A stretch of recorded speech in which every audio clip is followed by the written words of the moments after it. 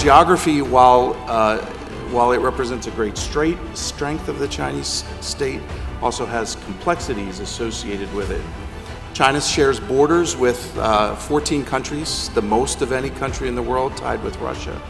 Uh, it has largely settled its, uh, its international border situation from the establishment of the PRC in 1949, and this represents a great accomplishment for the Chinese state. There are some complexities associated with that, and in particular, uh, the first island chain off of China's eastern seaboard represents, you might say, another uh, factor of strategic geography that complicates Chinese decision making. Very fast uh, economic growth in the past 40 years. I think this is the fundamental reason why people uh, view China as a rising power.